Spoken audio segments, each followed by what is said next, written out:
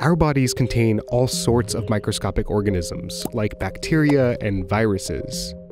Some of these are pathogens that can cause disease. Animals' bodies have them too.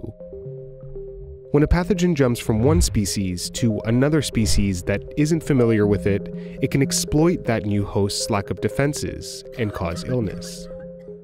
A pathogen that moves from animals to humans is called a zoonosis. Diseases like West Nile virus and Ebola both originated this way, and researchers think COVID 19 did too. Among humans, the majority of new disease outbreaks are the result of zoonotic diseases. And for the last few decades, the number of zoonotic disease outbreaks has been increasing. Looking at this chart, it might seem like humans are the victims of an onslaught of pathogens from animals. But what if these outbreaks are increasing because of something humans are doing? There's a lot of things we're doing that are increasing the probability of pandemic causing pathogens emerging. This is Sonia Shah. She's a science journalist who writes about the history of pandemics. Right now, we've used up over half of the terrestrial surface of the planet. Humans have been using more and more land for hundreds of years, but that land use has accelerated in the last hundred years. Today, satellite imagery shows us exactly what this expansion looks like. We're expanding our cities, erasing forests, and reshaping the land for agriculture. And sometimes that expansion is the result of war. That's what happened here in West Africa. It's an area that today includes Sierra Leone, Guinea, and Liberia. There was a forest that once covered that area where the three countries meet. Throughout the 1990s, civil wars in this region killed thousands and forced many more from their homes. Hundreds of thousands of refugees fled into that forest. They cut down a lot of those trees. They're making way for their homes and cutting down trees for charcoal and farming, etc. And you can actually see the change in the forest cover in satellite images. If you look at the early 70s satellite images, it's almost all green. And then you look at late 1990s and it's mostly brown because only a small fraction of the original forest remained.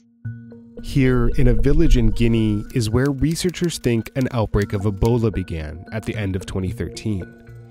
Like the rest of the region, this village used to be a forest and also happens to be a natural habitat for wild bats. Researchers believe the outbreak started with a boy named Emile, who died after he was exposed to fluids from a bat carrying Ebola, which quickly spread from his family to his village to other villages. As humans develop and transform wild animal habitats, events like the Ebola outbreak are becoming more and more likely. We're paving over wildlife habitat, which means it's much more likely that pathogens that live inside animal bodies will make their way into human bodies. And that's because animals end up living much closer to us. But in many cases, those animals don't survive human encroachment into their habitats in the first place. This chart shows the biggest extinction threats facing different animal groups. For most of them, the biggest threat to survival isn't pollution or being hunted, it's the loss of their habitat. And a disappearing species creates a different opportunity for zoonotic diseases to jump to humans. Take West Nile virus, for example. It originates in birds that migrate from Africa to North America in the summer. It typically infects humans through mosquitoes, but West Nile virus was never a problem in the US until 1999. That's because we had a diversity of bird species in our domestic bird flock. In a diverse bird population, some species are good carriers of West Nile virus, and some aren't. North America once had a large population of birds like woodpeckers and rails that don't easily carry the virus. That made it much harder for the virus to spread among the bird population. But then we started disrupting those birds' habitats. What's happened over the past 50 years is we've lost a lot of that avian biodiversity. Woodpeckers and rails are now pretty rare. What we now have instead are a lot of species like American robins and crows. Crows and robins are much more adaptable to a changed environment. But they also happen to be better carriers of West Nile virus. The fewer woodpeckers and rails you have around, and the more robins and crows you have around, the more West Nile virus you have around in your domestic bird flocks. And the more likely it becomes that a mosquito will bite an infected bird and then bite a human. And that's exactly what happened in New York City in 1999. Before 1999, no one in the US had ever died from West Nile virus. Since then, around 150 people in the US have died from it every year. The places where humans are encroaching on wildlife are the frontier for the next pandemic.